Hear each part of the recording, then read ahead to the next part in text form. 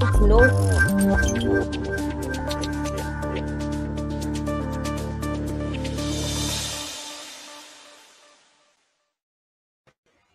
Well, hello again. We're back. Nice try, whoever that was. Let me add everyone back in again. First, I'll start with Matua today. Hi, hello again. Welcome back. yes. okay, and next will be Jena. Hi, Jena. Welcome back. And let me get Lindsey last but not least. Hello. Hello, Lindsey. Well, that was interesting. Um, for the people that are out there, excuse me, and can't see us, uh, we were pulled off air for breaching community standards. We don't know exactly what those community standards were, and I've appealed it. I think it might have something to do with using the T word, so we won't be doing that. Um, we will continue, however, to discuss what we were going to discuss today. Is everybody okay with that? Sure. All right.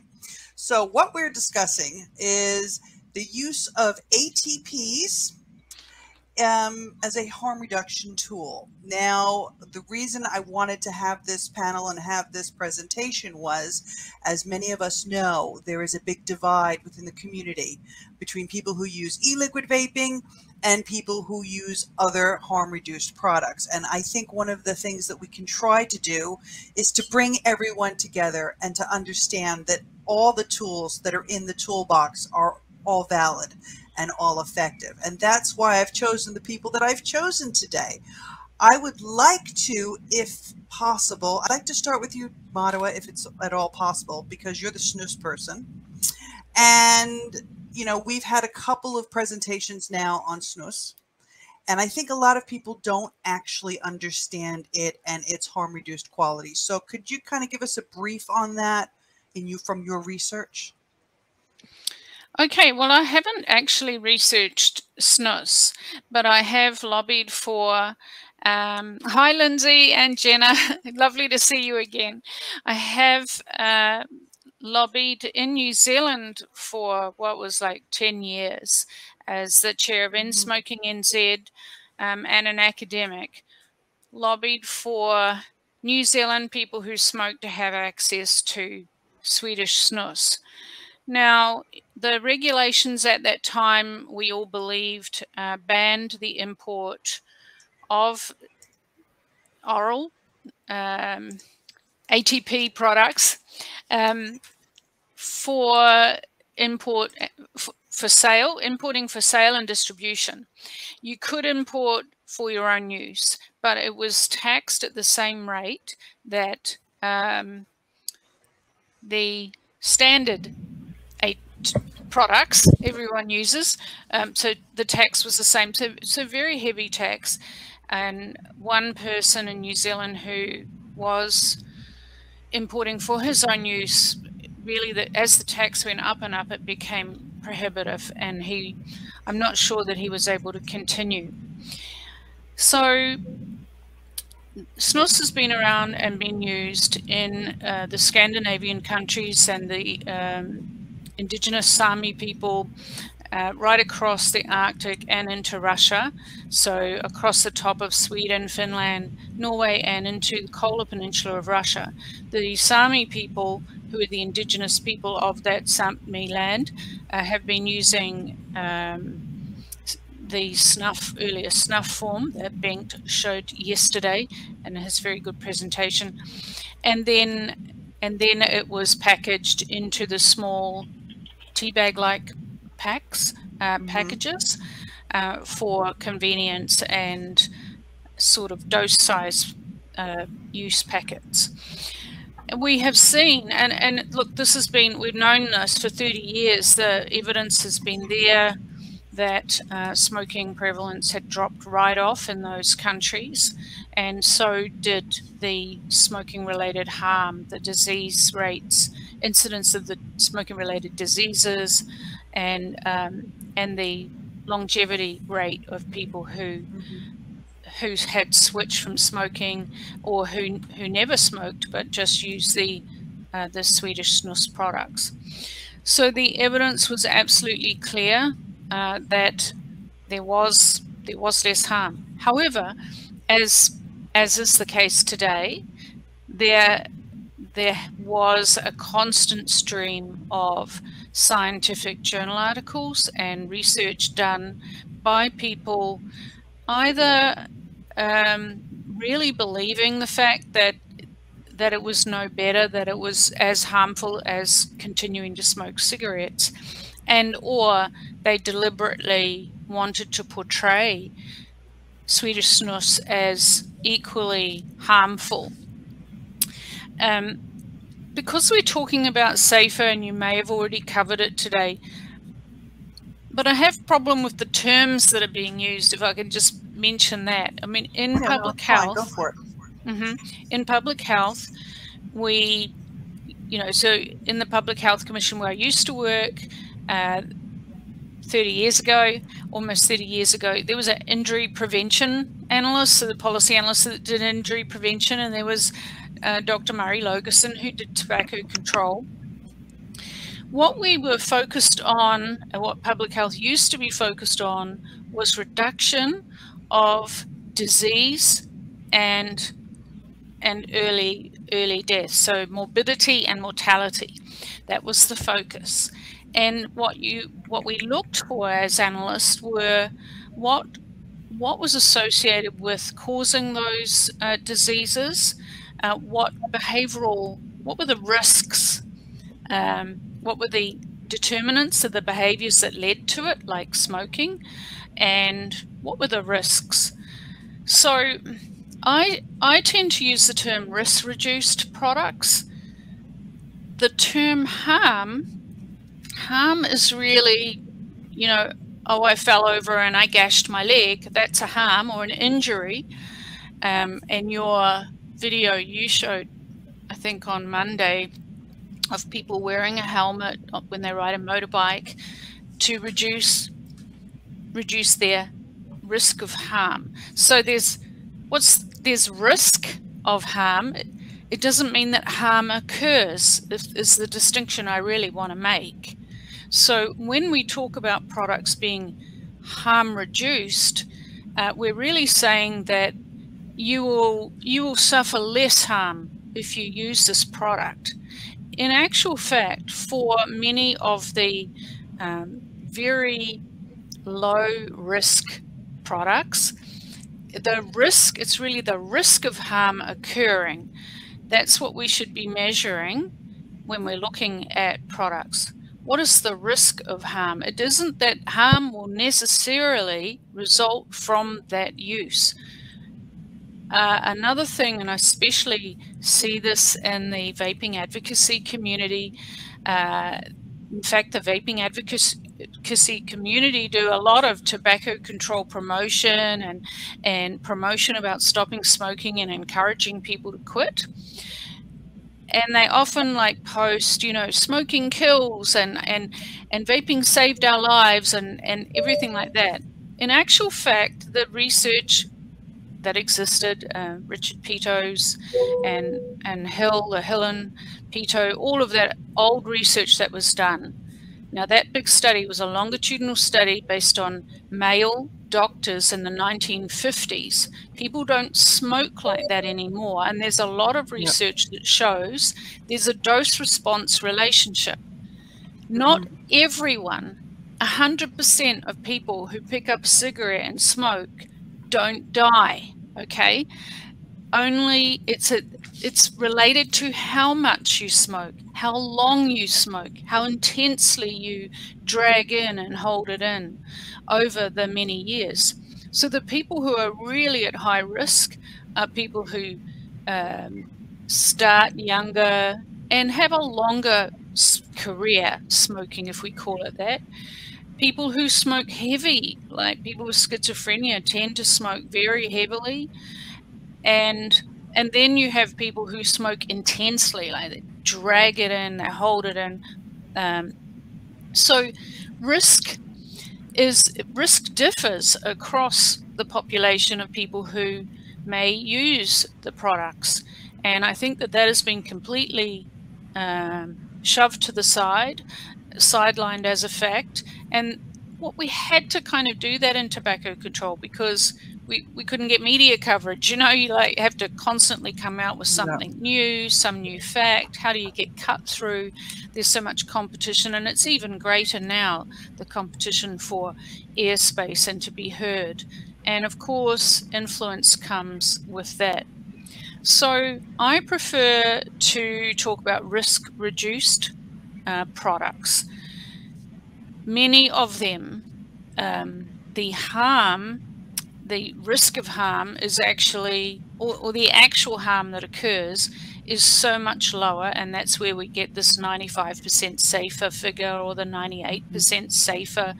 Now, again, saying something is safer implies that, well, you are going to be harmed, um, but instead of breaking your leg, you're just going to stub your toe or and I knew use that uh, I wrote an essay because Stan Glantz uh, is one example, and other local advocates here yeah. used to say smoking is like um, is like falling from the 10th story of a building. Or sometimes they would say it's like falling from the 50th story of a building. Uh, mm-hmm. And then Dr. Carl Phillips had done some study looking at okay, let's look at that analogy of people falling off a building not everybody who say falls from the fourth floor, the fourth story, dies. Um, you know, depends how you fall on the pavement. So I think that we could we could advance how we talk about risk reduced products or low harm products have a little bit more nuance around it. Um, it isn't 100% of people who die.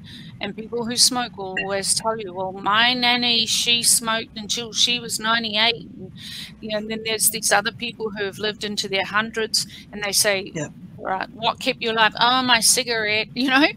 So, and glass of red wine. Yeah. Yeah. So the, yeah, the Hill and Peto study on UK doctors came out with the earlier you start, the longer you smoke, the more likely you are, and that is a risk, the more likely you are to die of a smoking related okay. disease. And, and then we used to say about half, actually, and it came from that same research, about half of people who smoke will die from a smoking related disease. And another uh, colleague, he did some work around that. He thought it was more like two thirds. So we used to use imagery like the gun, you know, yeah. spinning Russian roulette. You spin, spin, you know, and then mm-hmm. three bullets in the so, in the chamber. So what you're saying is it's almost like the, the the discussions that we had five years ago when we would say, "Don't say quit, switch," because language can influence people's perception of what they're they want to do. It, we remove the negativity i guess is the best way of putting it. Sorry i'm still really upset about what just happened. Yeah, yeah. um uh, i want to ask i want to start with lindsey if i can. Lindsey i know that you vape and you also use a heated tobacco product. You use both correct? Well i used to but you can't really get the heat sticks here. Well now yeah and, now and actually um, I, I, got to see them in the first gas station ever in the states when i went traveling around actually. So i'm in uh, north carolina I was like, it's pretty amazing. But then you know how with the ITC shut them out too. So unless they have, you know, the trade commission comes back and lets them have a stay. Okay. But they were amazing. Um, I mean, especially for people who cannot use an e, you know, an e-cigarette to get off cigarettes. Um, you know, some people like the combustion of you know smoking, knowing that it's really harmful, and I think it mimics the way that it mimics a cigarette is a lot better than what you know an e-cigarette can provide for people. Yeah, it tastes like a cigarette, which is going to actually make me jump over to Jena because when I first met Jena, she used to smoke and she doesn't smoke anymore. Jena is a heated tobacco user. Jena, are you there? Oh, we lost both yes, of them. Hi, nope. Hi. Jena? Yeah. Hi. Hi. When we met, I think you remember this. When we met, you used to smoke. And then That's you switched true. to heated tobacco. And we you and I and you and I had a discussion about the perception of women smoking in the Philippines. And one of the questions I wanted to ask, but that I didn't ask, was Do you see a lot of Filipino women who used to smoke now using heated tobacco simply because it's more discreet and it's more acceptable? Um, there are a lot of women who have switched to HTPs mainly because of the um, smell that uh, combustible cigarette uh, gives out. And using heated tobacco products, um, the, the, the smell um, dissipates um, very quickly. And in fact, you could hardly smell it at all um, after just a few seconds. So I think that's one of the main things that women consider, plus also the pressure from from relatives to stop smoking because of the dangers of combustible cigarettes. Now, you've been using a heated tobacco product, if I remember correctly, now about two or three years now. How do you feel? Have you noticed a change? a lot better, Nancy. Um, I I actually feel fitter, and um, everything's lighter actually. Because when I was uh, smoking combustible cigarettes, I could barely um, catch up with my son when we walked together. So now I have uh, a better fighting chance to you know join him in those walks. Hmm. Yeah, see, you you definitely look a hell of a lot better and a lot younger too. I might add. I have noticed the difference because you know smokers get we age. You know when people smoke, they age really fast. You've kind of done yeah. the whole reverse thing. Yeah. Full credit. Thank you. Um, thank you. Lindsey, you're younger than all of us, and that's okay, child. Um, do you see oh, a lot of young? It's all right, I know. Do you see before they actually pulled IQOS off the market in the States. Did you see a lot of younger women switching to IQOS or was it an issue of the money? What was the situation? Not really. There? Honestly, you don't see it in the States because they only had it in three markets. So they had it in like a couple places in North Carolina, Atlanta, and they rolled it out in like Northern Virginia. Um, but when I noticed when I went to foreign countries that you didn't see a lot of women, you saw a lot of men when I was in Dubai um, earlier, oh, you know, in September, I saw a lot of heat not burn there, and it was a lot of males that were actually using it. But men still okay. disproportionately smoke more in the states, anyways. It's not as it's not as bad as other countries yeah. where it's like really disproportionately male, but it's still they tend to smoke more.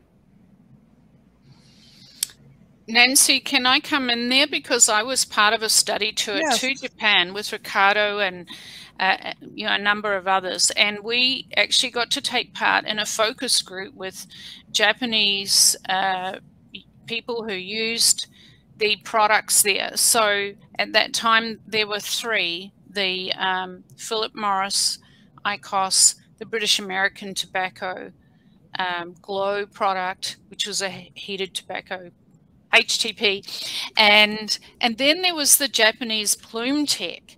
Now that was absolutely fascinating. That Japan Tobacco, which is government owned, had come out with their own version of uh, electronic cigarette. Um, and as you, I'm not sure if you have covered this, but in Japan, they absolutely could not. Your nicotine products on their own, apart from the medicinal ones, were banned under you know an old law and similar to what Australia has. So we actually also met with the Minister of Finance. We could not tell him anything about vaping. He knew it all. He honestly was very well read on the topic and very, very concerned about the high rates of smoking among particularly Japanese men. So the heated tobacco product was defined as a tobacco product as long as it had tobacco in it. I don't know if you know about the Ploom Tech, but it is like a yeah. it's, it's, like a uh, one of those old vape sticks.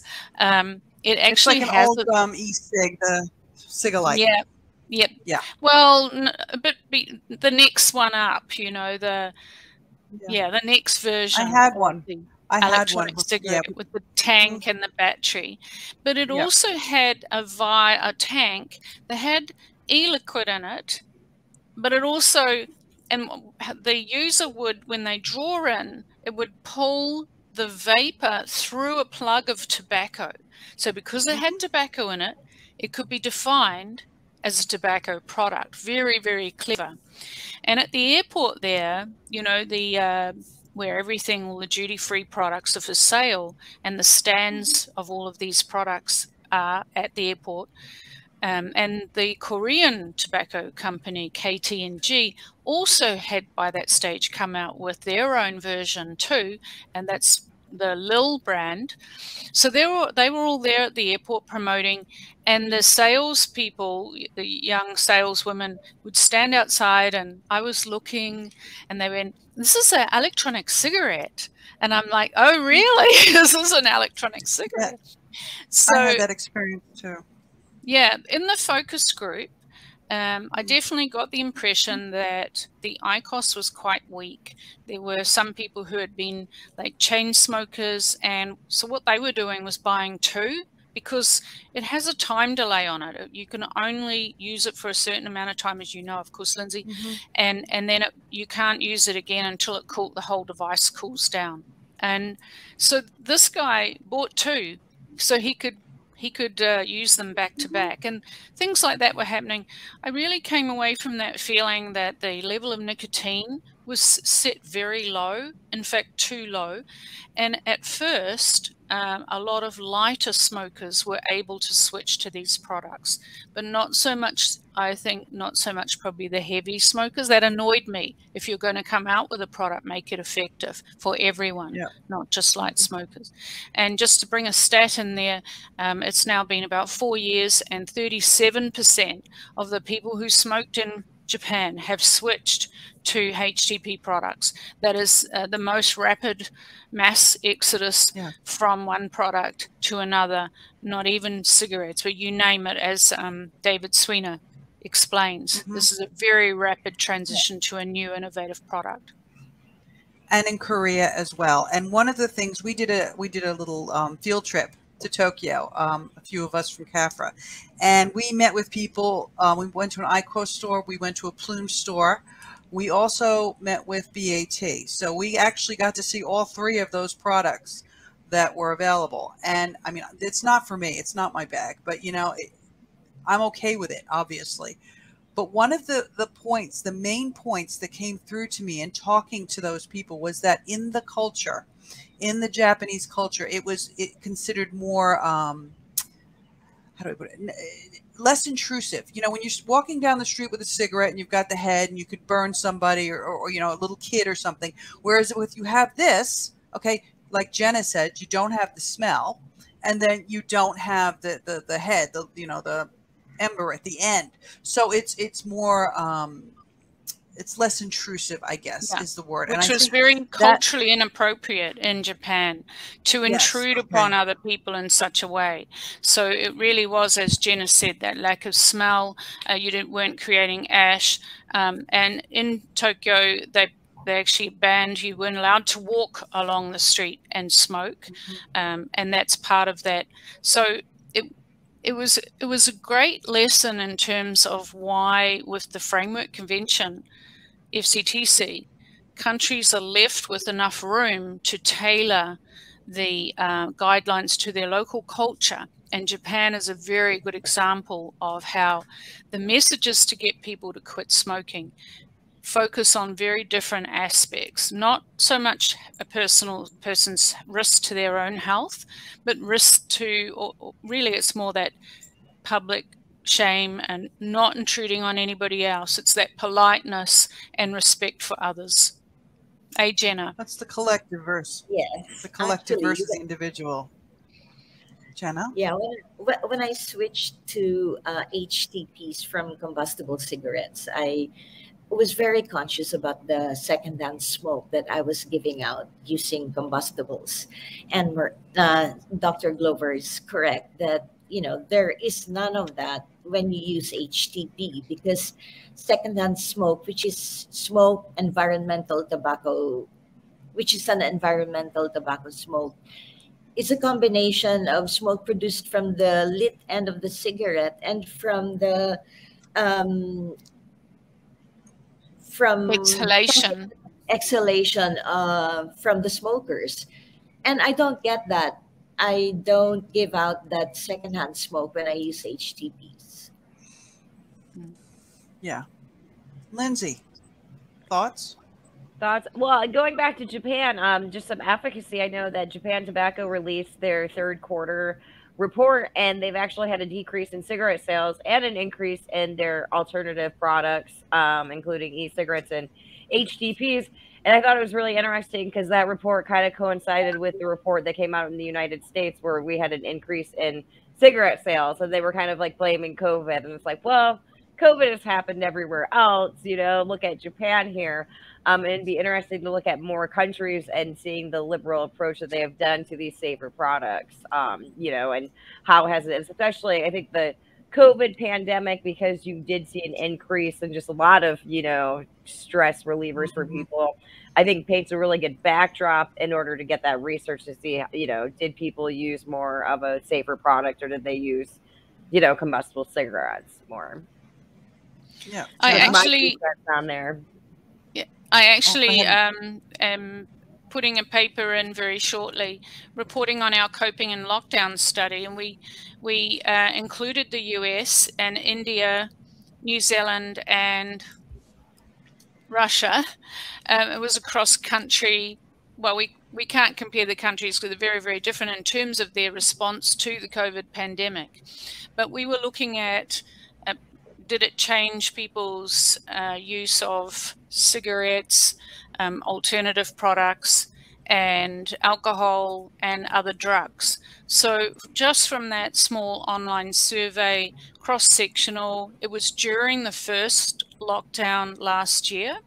Uh, yeah. And it isn't, I don't think it is true that people. Um, what did they say that people increase their smoking prevalence? Uh, we we definitely didn't find that.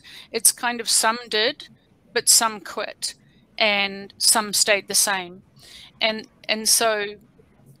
I don't. I don't think that the evidence is going to support that. Maybe further on, maybe like now, with with um, more lockdown, with extended lockdowns, and with, mm. you know, with the a lot of the other political changes that are being brought in on the back of COVID, uh, and it's being used now to to change a lot of things, as we saw with our regulations here, and um, to keep people out. But um, yeah, I, I, don't think it was that at all, Lindsey. I think your analysis of the situation and what you guys have been putting out is is probably more correct. It was unintended negative effects of poor policy, poor tobacco control policy. They made a huge mistake, and more than any of us, they are supporting smoking to continue. They are supporting the tobacco industry to continue to thrive and to experience very little drop off in their sales, unfortunately. Oh, absolutely. I mean, and well, the, the research that I've done too, uh, 2020, if you look at U.S. smoking prevalence, it's actually been it's decreased. So yes, sales went up, but that you know the amount of people smoking has not gone up either. So just you know paying attention to that, and I think yeah, the data is going to show it's uh, it's always you know continuing to decline everywhere. Um, yeah. I mean, one of the things too is that, you know, in Japan, and I remember this too, and H just reminded me, you know, we were actively offered it. You know, try this, try this, try this, like Sorry. you said. I mean, in restaurants, we were in, you know, I remember one restaurant, they came up, you want to try this? It was like, um, it's like the know, free cigarette people here in the states. Right, I remember that from when I was a kid. Yeah. Um, and you know they, they're more open and talking about harm reduction there. I mean, I, I presume that it's because the product that the products that they sell there, you know, they also have the JT product, like um, Matua said, the Ploom, which I had and I loved it. Um, by the way, and you know they had the BAT product, the Glow, and they had the IQOS stores everywhere. You know, it's an accept harm reduction is an accepted concept there. And I, I think it shows that both Korea and mainly Japan, it shows that if a government really accepts and promotes harm reduction, they can actually activate that in their people. And that's a big problem that we're having right now. I mean, for example, I know that in the Philippines, we're all waiting on tenterhooks to see what's going to happen. Jena, can you see the same thing that happened in, in Japan happen in the Philippines if this goes through? Well, I hope that's going to happen because currently there are about 87 million Filipinos who die due to smoking combustible cigarettes. And the, uh, the need for the concept of THR to be accepted by our public policy makers and um, the DOH, the Department of Health, um, it, it has to be it has to be done, and hopefully that will happen if if we do the right thing in disseminating information about the concept of THR. So, what do you think? How do you think government should go about promoting this to consumers so that they realize that it's a viable option? Because there's so much information out there telling people, and we've dealt with this in New Zealand as well, and they're dealing with it in the States right now as well, um, that, you know, it's so bad. You know, we only get the negative information. We only get, you know, popcorn lung and all that crap still happening. So, how would you envision? I'm going to ask this one of Marewa, and then quickly, I want to hear what Lindsey has to say because the U.S. is so completely foreign to everybody else. How would you envision a government promoting that? Thank you. So in New Zealand, the uh, the government, actually the previous government, they had designed a quit uh, campaign. Uh, they they had designed already a vaping facts website. Now that has been designed by the Health Sponsorship, well, used to be Health Sponsorship Council, is now um, called the Health Promotion Agency. It's a Crown agency set up under the Smoke Free Environments Act 1990, and their their role is social marketing to promote healthy, um, you know, behavior change. And so they had designed a vaping facts website and and a whole campaign, and now we've had the Vape to Quit Strong campaign. Now, those are government, Ministry of Health, well, government campaigns, government information sites, and in our Voices of the 5% study, we always ask if anyone's seen any ads. And a recent participant I was interviewing, um, I asked her if she'd seen the Vape to Quit Strong. She thought she had. I said, Did you know that that's a government campaign? She was like, Oh, no, I don't think it would be a government. So there's been so much misinformation that even some people who smoke in New Zealand think that the Vaping Facts website, which is a Crown agency government funded campaign to encourage people to switch from smoking if they can't quit, to switch from smoking.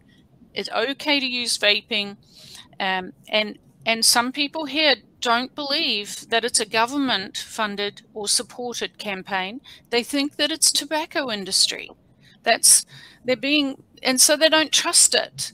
And of course, don't trust anything that comes out of the tobacco industry, of course, but that isn't. Um, so the misinformation is really damaging perceptions of um, and blocking people from even thinking that that could be government. Government, government needs to be very clear to answer your question, needs to be very, very clear, like Public Health England is being.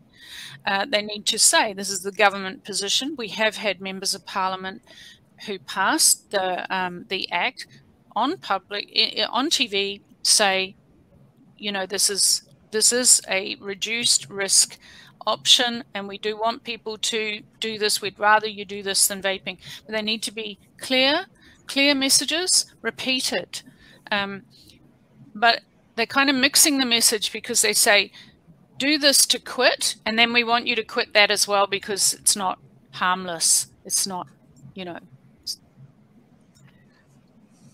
Linz?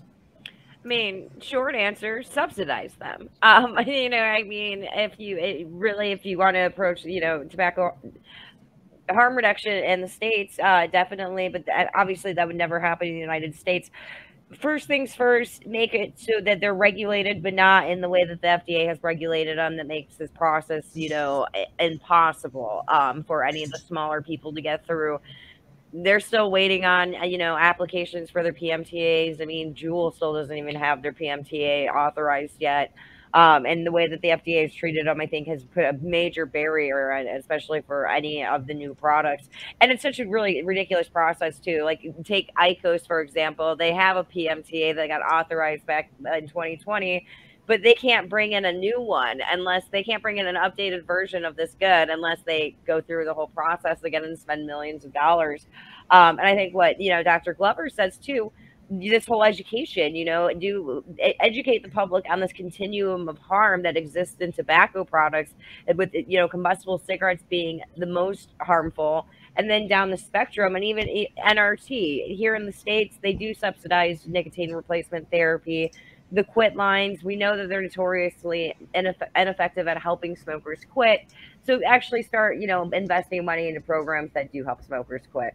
And then finally, if you're going to tax these, because that's been a big issue, um, if you're following what's going on at the federal level of the states, uh, they, you know, dropped a first they dropped a cigarette and a vape tax and cigar tax. Then they took everything out but the vape tax and they have it on parity um, with actually it's going to be worse than what the, ta- the federal taxes on a pack of 20 uh, cigarettes so if you're going to tax it make sure that it, it, you know represents the harm and that it's not being paired with combustible cigarettes or even cigars um, that you're recognizing that but i'm never going to go on the record for saying tax it i think once again you should be subsidizing it Oh, yeah, and making no, them available understood. wherever cigarettes are as well. If cigarettes are, be, are being sold there, vape should be being able any other tobacco harm reduction products should be able to be sold there. That's the thing that twists my knickers so much here in new zealand is that you can get tobacco anywhere but if you go and like say it's the middle of the night right and you need a you know vape juice or something and you wind up having to go to the gas station the petrol station you're stuck with menthol mint and tobacco. Why? The thing that's going to you know cause more harm that has more risk Ottawa has more risk is readily available everywhere, but the thing that is reduced risk is controlled. Why is that? I still, you know, and then now we look at what's going on in Australia where you need a script. I, yeah, logic, because it, it defies logic. Yeah, New Zealand is planning to remove the sale of tobacco from dairies. Uh, they, the, you know, lobbies, the prohibitionists are lobbying very hard for that. So the last thing they wanted to do was allow you know, vaping products to be sold there as well. Um, you know, they pretty much had to do that. Otherwise, people in rural areas uh, would would not have access to vaping products uh, in the they still don't have equi- equitable access. So the the prohibitionists here are going for complete prohibition, banning the import and sale of cigarettes altogether. So they don't want uh, to expand the range of products in any way. They had to with vaping because the horse had bolted. You couldn't you, you couldn't reverse what had happened. So many people were switching to vaping so rapidly here um, that, you know, it was undeniable that they needed to legislate, uh, they needed to regulate it. But that regulation, the intent is to denormalize vaping. The intent is what we call a sinking lid policy. So they will they will strangle access over the years. Uh, the next focus is to get rid of combustible tobacco altogether. And that's very, very tricky on world trade agreements and uh, trade laws, international trade laws, and new, many laws New Zealand has.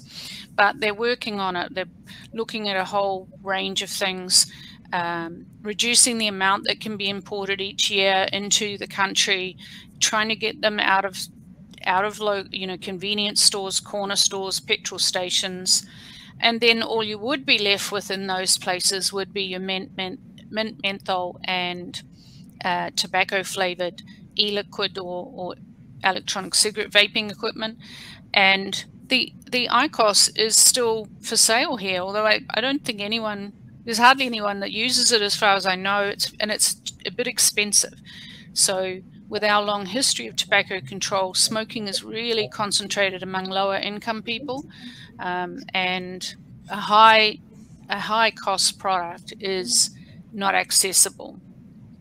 Does that? Yeah, I see. Yeah, I see a lot of people using heated tobacco, the IQOS, which is what we have in New Zealand, um, in downtown CBD. It's more, you know, it, it is. It's more higher income. It's also um, mostly used by people that have come over from Asia, and that's what they use there, and that's why they use it here. So, yeah. I mean, and the price point is ridiculous. It, it doesn't offer a benefit for those people that might benefit from it that are using combustible because they just can't afford it. Now, Jena, I remember when I was the last in Manila, the last time I was overseas, um, that tobacco was available at 18, but vape was 21. Does the new regulation actually straighten that out and make everything either 18 or 21? Oh, um, we're we're at the moment anyone can can buy combustible cigarette. I'm not sure if everyone's familiar about the concept of sari sari store, which is essentially a small store which you can find in every neighborhood. And while the government says that you know uh, the sellers or the owners cannot sell to minors, I think the problem persists that when young people try to buy cigarettes, the, the the enforcement of that rule is not followed at all because there's just millions of sari sari stores in the Philippines. Um, they can enforce that rule in uh, small convenience stores like 7-Eleven, Mini Stop, but there's no way they can control the neighborhood stores selling cigarettes and soft drinks. Um, hopefully that will change. Hopefully um, uh, the law will uh, allow um, people below 21 to have access to less harmful alternatives if they are smokers. Um, yeah. Yeah, but, but we have we still have to see if that's going to happen. Because as I mentioned, 87,000 Filipinos who die every year due to smoking cigarettes is just not acceptable. And, and the government has to do something about it. They have to tell the people that there are less harmful alternatives for them. And people just have to know so that they can make informed choices. Because if these choices are made known to the smokers we have in the Philippines, I think a lot of people will switch. Yeah, definitely, definitely. Definitely. Lindsey, in the states, thanks for that, Jena. Lindsey, in the states, um, is it still is it is it 21 for smoking, or have they, have they has everybody gone 21 smoking? Because I remember when it was 18. It's federal, yes, but not all the states have gone with it. So that's where you'll see some of the really wonky state bills come out because they're pushing the T21 and they'll package other stuff. So last year, the flavor ban bill in Florida. That was originally supposed to be a T21 bill, um, but it was the President Trump actually uh, signed the T21, but it's federally enforced. Um, but whether they do anything about it, you know, has yet to be seen. Okay, I mean, in the states, I know they will never, excuse me, they will never ban tobacco. I mean, they grow it; they're not going to ban it. Um, yeah. I think they grow it in the Philippines too, right, Jena? Yes. Yeah. So this question is probably more for Marewa. Is if um, they go ahead with this plan with you know first they're going to start with the very low nicotine cigarettes and then and then phase out tobacco available commercially. The projection on the black market and then the harm from that will be exponential and that will just throw 2025 right out the window, won't it? You're muted. Sorry, we're not going to get to 2025. Um, and only some groups, um, high income uh, people living in richer areas, that already only have 3% prevalence there. So, um, you know, low income people, um, the indigenous people, Pacific Island people, people with mental health uh, will not get to 5%. So the prohibitionists are going for 0%. That's what they're pushing. They're trying to get the whole country to believe that Smoke Free 2025 is about having a smoke free country, completely smoke free. And that was the 5% um, was picked out of a hat. So it wasn't based on evidence. We had a 1996 sort of survey smoking prevalence data from the census, so they were able to look by occupation, and we could see that from that data that only 3% of medical doctors smoked and only 3% of church ministers smoked. So that kind of led to, well, it's achievable. So, you know, 3%, not everyone's a doctor, not everyone's a church minister, maybe we'll go for five. And it's talked about actually in government documents as an aspirational goal. It is not evidence based. Um, from my personal experience, you know, of 30 years and my expertise in smoking cessation, the links with, um, you know, much higher smoking rates among some some of people with some of the mental health conditions, I think will be, you know, what would be achievable? 10, maybe, um, maybe 10, maybe we're there. You know, Australia is already claiming that they're down to, is it 12% daily smoking? Uh, I think that that's probably it. And of course, Australia has a much larger black market. We have the the benefit of being a, a long way away from our nearest neighbor, yeah. um, three hour flight and three days by sea. Um, so it is not easy for contraband tobacco to get into New Zealand. We have very strong border force, uh, border control. And this is why we saw a huge uptick or a sharp uptick in robberies of convenience stores for tobacco. So, so the corner stores that uh, that sell tobacco, some alcohol stores and petrol stations as well. And we had this phenomenon happen, like the Wild Wild West, like the bank robberies yeah, in the Wild Wild West, uh, where you know car there were people were stealing cars and driving into the front of shops. Cigarettes became, it was referred to like gold. Um, it was easy to carry, they were light. You could carry a lot of cigarettes out of the shop if you got a few of you. And they were selling those, uh, and a, the black market kind of took off then. Um, also, yep, Marx is talking about chop chop and um, so chop chop is homegrown. Now, I believe in Australia they banned you're not allowed to grow your own tobacco. Uh, in New Zealand, it used to be you could grow 15 kilos dry weight a year for your own use, and then every time there's an amendment to the law, and it was slipped through with no one ever knowing, in the customs law, they reduced that from 15% to five um, sorry, 15 kilos to five. And I, I think that that that will definitely be a sneaky thing that they'll be targeting because Chugga mentioned about the black market and people will grow their own. Um, it's not easy to grow as such, you know, in it's, it's probably easy enough to grow. It's the actual curing and curing. stopping it from going moldy. So it's not a really big thing here. What has taken off is the contraband coming in from overseas. Um, so there will be increased enforcement, increased fines on that. The low nicotine cigarettes you mentioned, that big lobbying to say all the combustibles that the nicotine content has to be reduced to 0.5% or below. Now, that is virtually nothing, you know, virtually nothing. So, when you, you know, many people think, oh, well, that will just cause people to smoke more.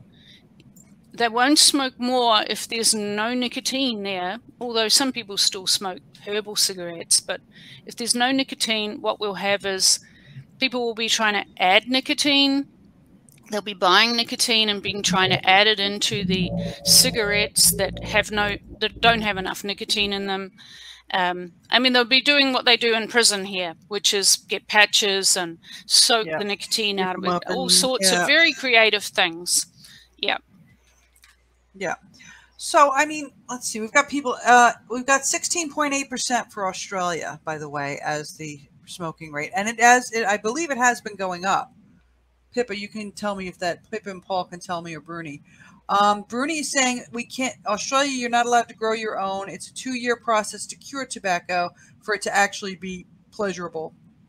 Um, and then Mallory's talking about vapors stocking up on liters of nicotine and stuff in the DIY community. Um, and, and then, of course, we have H. The reason you're not allowed to grow tobacco is because the government wants to get their tax cut from every leaf. In Thailand, 50% of the market is reportedly chop chop, untaxed, and unregulated, which is interesting. I know that here in New Zealand, there is a pretty big growing um, people that grow. They grow in Wairarapa, they grow in Taranaki, and I think they also grow it down in Nelson down there. The, the, eh, but the curing is the problem. And some people have gotten very, very sick from it. And that's the problem with a ban. And that's, you know, like what's going to pro- probably happen in Australia and it's going to happen here when they eventually start banning things is people are going to be sick. So they're going to institute a ban, say it's for the benefit of public health, and then they're going to cause more public harm. And then they're just going to turn around and say, yep, yeah, I've, I've never heard of anybody getting sick from it. Uh, one of our voices of the 5% study participants grows his own. He grows enough for to last him all year. And then he buys a packet of cigarettes every now and then as a treat. So that's a treat. But, you know, so there, there are definitely some people growing it. Um, there's a Tongan tobacco, it's called, which is sold mm on the black market here. Uh, I don't know if it, the plant is actually from Tonga a Pacific island, um, and therefore it might be a chewing tobacco rather than a smoking tobacco. But um, yeah, the, the, main problem is keeping it from going moldy. The mold has bacteria, the mold is a risk to health. So it's really that sort of thing. And then people give it a go and then they find they have to keep it in a fridge and or, or try and, you know, keep it from going moldy. Um, yeah. Okay. All right. Um, final discussion, and I think we're going to switch to what just happened. I want your thoughts on what just happened when we got blown off the air. Jena, thoughts? Muted. Jena, you're muted. okay, sorry. It's it's terrible because withholding information um, is the essence of tyranny, as someone said. And for people to um, stop smoking, um, they should be given all the options, all the information that they need. And the government should be the key uh, factor in charge of making sure that people have the right information and then make these less harmful alternatives accessible to them. And you know, stopping us from um, giving information or educating the public, especially the smokers, about the options that they have, it's not on. And I think this has to change, and misinformation also has to be corrected. Um, so we just have to try harder as advocates and, you know, convince policy makers to adopt tobacco harm reduction. Just have to keep going. Pretty yeah. much. Just have to keep going. Lindsey, in an American context, what's your take on what just happened? I think they were afraid because it's a panel full of women and we could get everything done. Um, but uh, I'm not surprised by it, quite honestly. I, I'm surprised it didn't happen sooner um, and you know, with the people watching it, I know I, I was talking to Nancy earlier, especially, you know, thank you for having me on here. And I think it's wonderful what y'all are doing and the amount of attention that this live stream is getting. And it's just going to be beautiful, especially over the next two years as we prepare for COP10. But um, I mean, I'm used to it in the States. I mean, if we go back to the EVALI stuff, you know, back in the, the vaping related lung injury that, you know, went around the world, even though it was literally only in the States, you had the Centers for Disease Control and Prevention that were actively downplaying the role of illicit products that contain tetrahydrocannabinol or THC in it, um, even though many of us that were advocates and you know and just people that were you know watching what was going on was telling them it's dank vapes it's this fake weed brand that's out there and it took them till december so I'm, you know, here in the states, we are used to the misinformation, um, especially with the way that our government agencies is. So just, you know, keep pushing back. We have had the very, you know, when we had the one moment, it was two years ago today when we had the We Vape, We Vote rally out in DC, and Donald Trump tweeted at us and you know, it was supposed to be a full blown flavor ban, and that didn't happen. We've got a lot of movers and shakers that are doing work, um, you know, getting companies past this this draconian PMTA, and just you know moving forward. Um, it's it's not great, but it's not really bad. But yeah, uh, screw YouTube. We should just go on Parler. Yeah, I mean, you know. um, Marewa, yesterday I asked you about what your comment would be for the people, the delegates at COP9, and you said resign. Do you still feel that way? yep, I think I think that the Framework uh, Convention on Tobacco Control Secretariat has been co-opted and uh, by prohibitionists, and and they've they've gradually been um, recruiting and and you know brainwashing people. Controlling information is very it's essential to that. If you want to control the citizens and or control anyone it's it's about controlling their thoughts and their beliefs and their attitudes you must control what what information they're going to be getting um, we you know i mean that's only just very, very obvious now with what's happening, what's been happening in New Zealand with the uh, response to COVID. And uh, as a, with psychology training behind me, I have been absolutely just, um, I keep going, where are the psychologists? Why isn't everybody, well, why is nobody saying this, this? is, is propaganda 101 this is so basic the the rhetorical strategies the communication strategies the control of information the suppression of competing information or and then the attack on medical doctors threatening to to remove their license to practice uh, let alone you know my own experience which i talked about um, yesterday and the blacklisting of of a researcher, and not allowing people to read my research. Um, the Prohibitionists in Tobacco Control, it's an international network. Actually, I see them as a minority in tobacco control, but they they and they're not using honest, um, ethical, and professional behaviors to achieve their takeover and their control.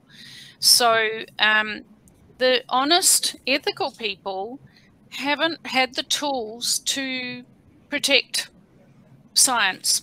Uh, they, they don't want to respond in the same way. They want to behave in a professional way. We want to behave in a professional way. You can't fight an abuser by turning the other cheek. Um, they just hit you again. And I actually, I did used to work in um, male violence against women and women's refuge and rape crisis. So I have I have kind of uh, been surprised by the the parallels with the behavior of violent partners, and it's very like that how it's um, structured um, and all of the strategies that are used. So shutting down, um, you know, as soon as they would do everything in their power to shut down any platform you use um, and anyone who participates or speaks on it will come in for attack. And of course, we know that Bloomberg uh, funded a whole group at the University of Bath in the UK. And they got $20 million to sit there every day and attack and sabotage any work being done by tobacco harm reductionists to defame tobacco harm reduction academics. Um, you know, they write to, you know, I'm a, I'm a editor of the tobacco section for the Harm Reduction Journal. They have written to the editor of that journal twice, complaining and bullying him to sack me. Um, and go, Lindsey you know, they wrote to the New Zealander of the Year, Kiwibank New Zealander of the Year committee, and demanded that they that they rescind my nomination for for New Zealander of the Year in 2019. They will go to any lengths they use, and they can afford to do it. They they mm-hmm. will they're using search engine optimization to drown anything that um, any journal articles that we happen to get published. I mean, if you go into Google Scholar and you search, you know, for you want to find research, harm reduction research, you'll find that a lot of it is buried. They are yeah.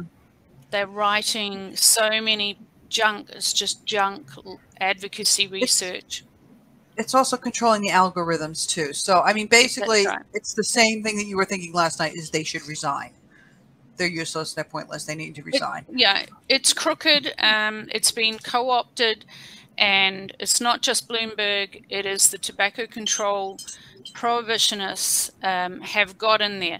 They get onto committees all over the place, any committee, um, any advisory group. Uh, they go they lobby the members of parliament all the time. And now our Associate Minister of Health in New Zealand is from the same university, is a colleague of some of these people. Um, And, you know, well, what hope do you have to get an alternative um, voice or voice for the consumer or consumer advocate voice in there when you have a person who was a public health um, doctor yeah, and I know. academic. I know. I know. I'm not, Jena, I'm not saying, I, you know, like that. Yeah, but it's just like, well, the, they just stack. They just stack everything. There, it's stacked against. Yeah. Jena, you know that the Philippines got the Dirty Ashtray Award yesterday? Yes. um, we love your people. We were very happy that they did that. Um, it gives us hope, especially considering where you were three years ago what would you say, the, not necessarily to the Philippine delegation, but to the WHO as a whole? What would you like to say to them? Just carry on with um, information dissemination about tobacco harm reduction. Um, they'll just have to press on. Yeah. Yeah. Tobacco enough. harm reduction advocates. Yeah.